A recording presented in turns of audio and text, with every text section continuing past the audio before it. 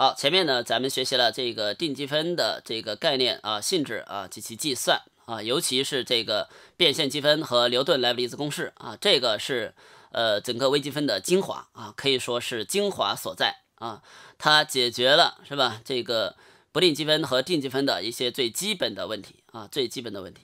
当然，后面的这个积分方法呢和这个不定积分啊是有关系的啊，也是有区别的。尤其是这个换元积分法啊，有相当大的一个区别。好，咱们来看一下这个呃反常积分啊。反常积分呢是打破了啊，打破了我们这个定积分的两个常规啊。定积分要求什么呢？在有界区间上啊，在有界区间上做什么呢？做有有界函数的是吧？有界区间上做有界函数的积分。那如果啊，这个函数本身是无界的，积分区间本身是这个不是有限的啊，那这样的话呢，就导致了反常积分啊。好，我们来看反常积分啊如何定义以及这个如何计算。好，先看一下无穷区间上的这个反常积分啊，这个广义积分应该改成反常积分这两个字啊，因为反常积分呢，呃，指的就是我们非正常的啊，但是广义积分的话，呃，在数学上已经有。别的这些定义给占用了啊，所以我们还是以反常积分为主啊，就是 abnormal 是吧？啊，反常积分是 abnormal 是吧？不正常的，normal 就是正常的、常规的。那这个广义的话，你可以用这个 generalized 对吧？啊，这个从数学上的名词还是不太一样的啊啊，所以知道这个情况啊，反常积分啊就是无穷区间。原来是有限区间，现在变成无穷区间。原来是上面的什么呢？上的有界函数啊，打破这个常规就得到了反常积分。好，我们先定义这个 a 到正无穷上啊，a 到正无穷上 f(x) 积分呢，定义成一个极限啊。我们画一个图的话，你比如说，我想去看一看这个下面这一块东西有没有面积，是不是？那我怎么办呢？那我可以先给它截断啊，然后呢，再让这个 b 呢趋于正无穷，对吧？非常好的想法啊，非常好的想法。那如果上述极限都存在的话，那称这个反常积分呢就是收敛的啊。那么这个极限值啊，极限值就称为这个反常积分它的值了，对吧？就是算出来啊。所以这个是形式上的一个东西。至于说它有没有定义的话，完全取决于这个极限是否存在。那如果反常积分呢？这个不存在啊，就极限是不存在的，那就称为发散啊，就像我们那个什么的数列一样的啊，有一个收敛，有一个发散这个概念啊，所以见到反常积分的一个首要问题啊，所以它的一个层次是先问它的敛散性，对吧？如果收敛的话呢，我们就得看它的值啊，这个值。啊，就是什么呢？就是哎，我们的极限是吧？b 趋向于正无穷啊，a 到 b 上是吧？这是 f(x) dx。那如果我们有相应的牛顿莱布尼兹公式，对不对？我们一样的有啊，所以它是这个极限 b 趋向于无穷大。哎，如果它有原函数的话，就是 f(b) 减去 f(a) 啊，所以我们一般的呢，也可以这么写啊，写成这个样子啊，这叫借用。啊，你要理解啊，经常讲你懂的是吧？你要去借用这个啊，就是写这个正无穷，其实就是求这个无穷大的极限啊。也就是说，反常积分就是这个无穷区间上的反常积分，它的存在性完全取决于什么呢？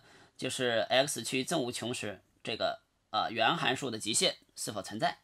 OK，好，这是无穷区间上的反常积分以及它的计算的手段啊。好，下面呢，我们来看一下啊，这个另外一个无界的是吧？就是从负无穷到 b 啊，负无穷到 b，就是下限是无界的啊，下限是无界的。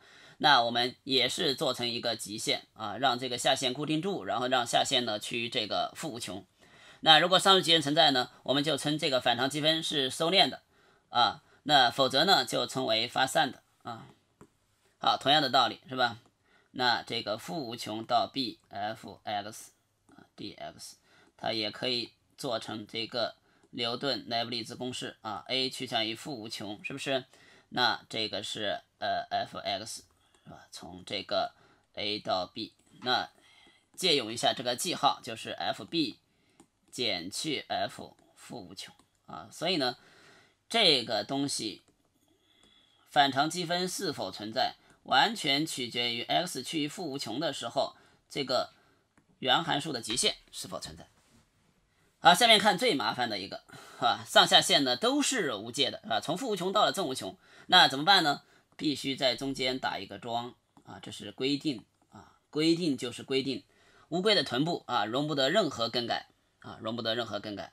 所以负无穷到正无穷啊，一定要写成负无穷到中间的某个点，加上中间的某个点到正无穷，也就是说，它要收敛啊，当且仅当这个收敛俺的这个。也收敛啊，这个是同时收敛啊，非常非常的重要啊，必须是这个收敛，这个收敛。如果有一个发散，它就是发散的啊，千万不要这个胡乱定义啊，千万不要搞这种定义。有人说我要定义成负无穷到正无穷啊，不要自作聪明啊，说我给你搞成什么呢？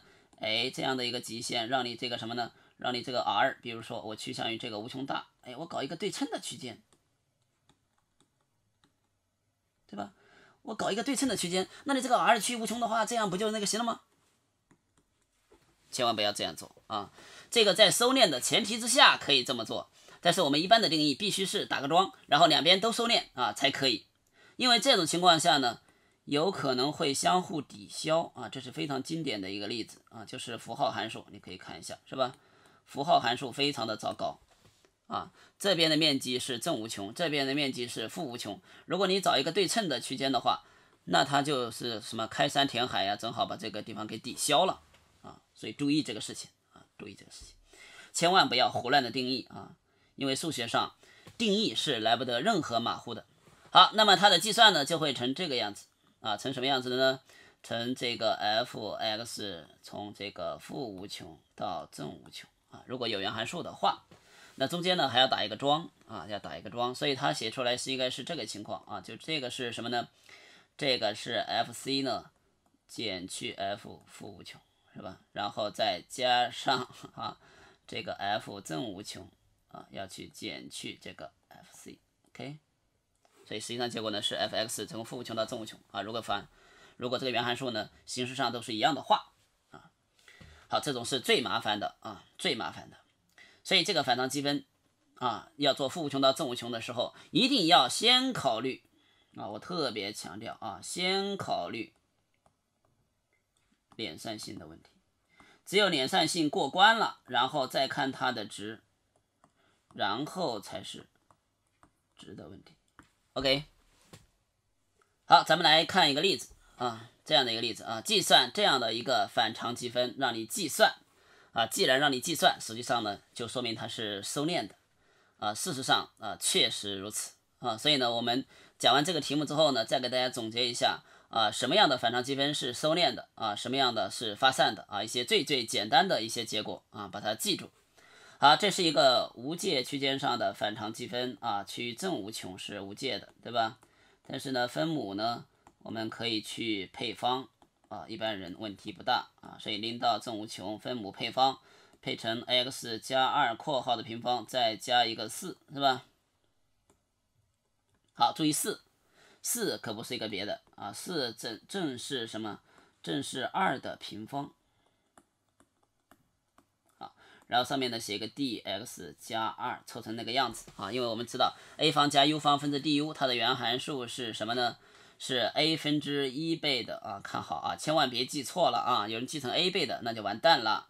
arctan 的什么呀？a 分之 u 啊，这是 x 加二，好，然后直接写零到正无穷啊，这个没什么问题，因为你这个被积函数呢只有这么一项。好，写出来，二分之一正无穷，记住了，是趋于正无穷的极限。好，x 趋于正无穷，x 加二除以二也是趋于正无穷。arctan 的 x 趋于正无穷的时候，它是二分之派，然后呢下限的话直接带值啊，它就是 arctan 的多少呢？二分之零加二，对吧？所以无穷大的时候，这个极限对我们平常的渐近线呢，对这些函数性态的了解也是非常非常重要的。好，这个 arctan 的一呢是四分之派啊，所以最后的结果是二分之一，二分之派呢减去四分之派啊，注意一些最常规的这些。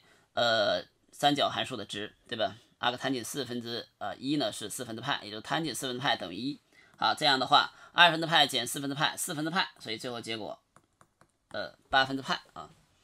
那有人可能算到了这个两倍的四分之派变成二分之派，那是错的啊！注意，这是二分之一倍的，二分之一倍。也就是说，反常积分呢，就是相当于干嘛啊？就是无穷线的反常积分啊，就是这个反常积分，它约等于什么呢？约等于一个定积分啊，再加上什么呢？再加上一个极限过程，对吧？极限过程。所以我们做事情的时候，不要三步并作两步啊，先做定积分，再做极限，这样的话会比较的靠谱啊，比较靠谱。好，关于这个呃无穷线的反常积分呢，我们给大家写一点点注啊。所以第一个呢，首先要考虑啊，先啊考虑这个连散性，后这个求值啊，尤其是一些概念性的题目啊，特别要注意。第二个。啊，我们一些常见的啊，常见的一些结论啊，记住啊，常见的一些结果，最基本的一些结果，比如说，呃，这个 a 到这个正无穷啊，x 的 p 次方分之一，这个它的敛散性啊，注意这个 a 是大于零的啊，它收敛啊，当且仅当什么呢？当且仅当这个 p 呢是大于一的，对吧？还记得吧？这叫标杆函数啊，x 的。呃，p 次方啊，这叫 p 函数啊，p 次幂的分之一啊，这个积分啊，x 分之一呢是发散的啊，然后比它小的是吧？那是这个收敛的啊，就 p 大于一，那就收敛；p 小于大于零小于一的话，或者说小于零的话，那当然是发散的啊。还有一个结果啊，这个呢在概率里面有用啊，零到正无穷，这个是 e 的负兰姆达 x dx 是吧？这个结果呢是兰姆达分之一，当兰姆达大于零的时候啊，这概率里面非常的有用。啊，这就是那个指数分布的，还有一个结果啊，就是这个负无穷到正无穷是吧？e 的负 x 的平方 dx，这也是概率里面非常非常重要的结果，它是等于根号派，或者说啊，负无穷到正无穷就是标准正态的那个密度，对吧？标准正态的密度积分等于一啊，而这个密度呢前面差了根号二派分之一，所以结果呢是根号二派。好，这个关于无穷区间上的反常积分啊，我们就给大家说这么多啊。那这个反常积分一定要跟这个所谓的定积分区分开来啊，它完全是不同的两个语言系统啊。